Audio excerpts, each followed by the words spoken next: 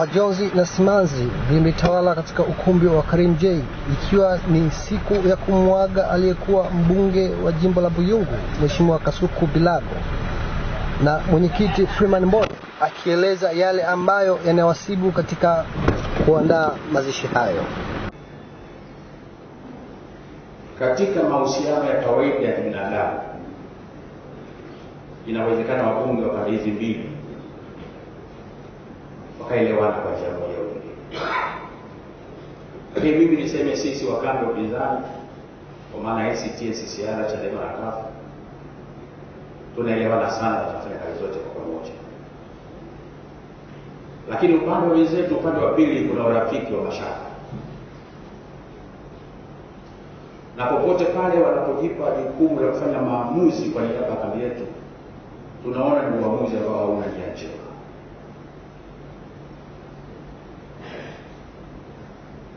njema. Mheshimiwa alifariki siku ya Jumapili, Jumamosi mchana by saa kumi na moja jioni,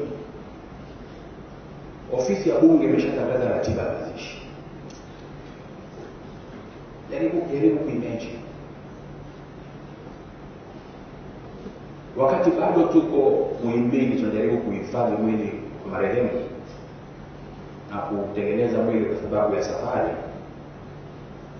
hatujakaa kikao, hatujashauriana na ndugu.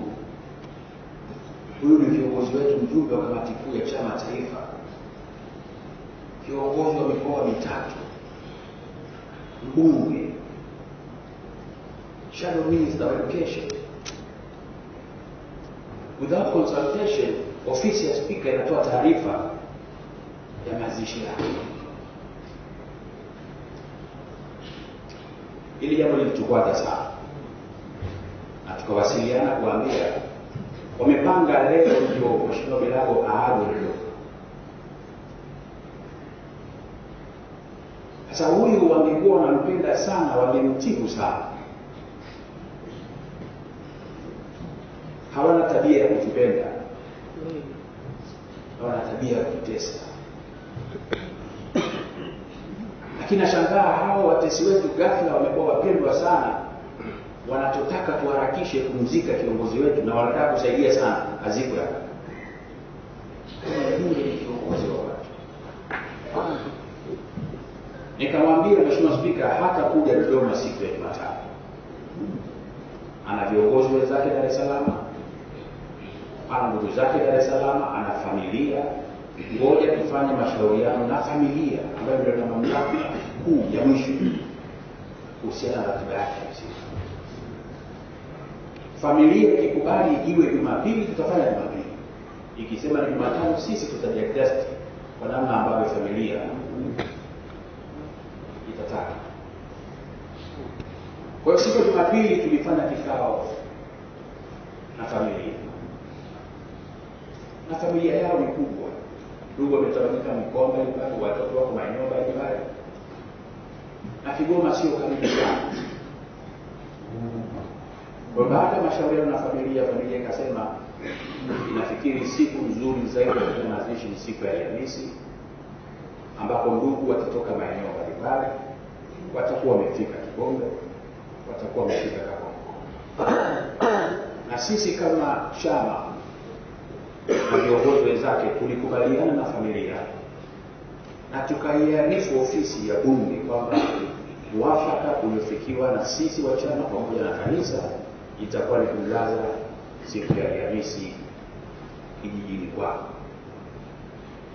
na baada ya hapo tukapanga ratiba kwamba wa Dar es Salaam watafanya sala fupi na kumwaga hapa kama tunavyofanya sasa hivi kisha asubuhi atapelekwa Dodoma kwa ajili ya wabunge wenzake kumwaga pamoja na community ya Dodoma.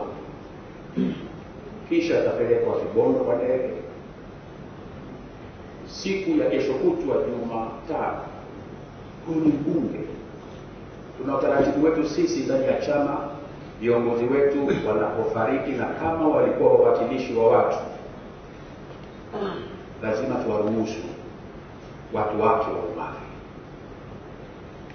Kwa hiyo tukapanga kwamba msiba utakuwa nyumbani kwa kushirikiana na familia, kisha siku ya Jumatano ataagwa na jamii yake ya jimbo lake, wapiga kura wake na ndugu zake wengine watamuaga katika uwanja pale Kapoko siku ya Alhamisi, na atalala nyumbani kwake. Siku ya Alhamisi tutampeleka kanisani kwa ibada hiyo maalum kwa ajili ya matiko yake, kisha tutakwenda nyumbani kwao kwa mama shamba la familia kwa ajili ya Tukawapa utaratibu huo, lakini bunge bado anasisitiza tunamzika Jumatano. Mimi namwambia spika na timu yake watazika mtu wao wanamtaka.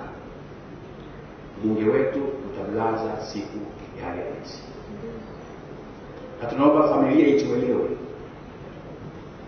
na kama bunge haliwezi kuheshimu matakwa ya familia ama bunge halioni umuhimu wa kuheshimu matakwa ya viongozi wenzake,